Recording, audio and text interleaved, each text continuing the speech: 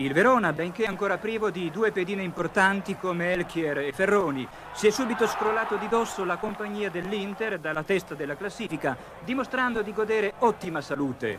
I gialloblu hanno dominato in lungo e in largo un Ascoli che prima ha cercato di difendersi e poi non ha saputo o potuto organizzare una valida reazione. I gialloblu passano meritatamente al ventottesimo Marangon da una buona palla di Gennaro che fa partire questo bolide.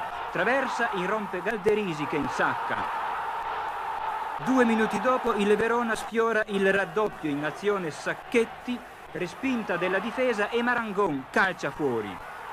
Al trentunesimo splendida intesa fra Galderisi e Briegel. Il tedesco tira di testa al volo e Schiavi respinge in angolo. Sulla stessa azione di calcio d'angolo battuto da Fanna, l'ex Dirseu perde un contrasto con Sacchetti.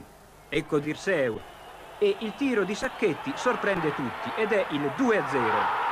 Al 36esimo il Verona potrebbe incrementare il bottino, calcio d'angolo di Fanna a testa di Di Gennaro, la palla rimbalza su Perrone e quindi sulla traversa e poi viene alzata da Corti.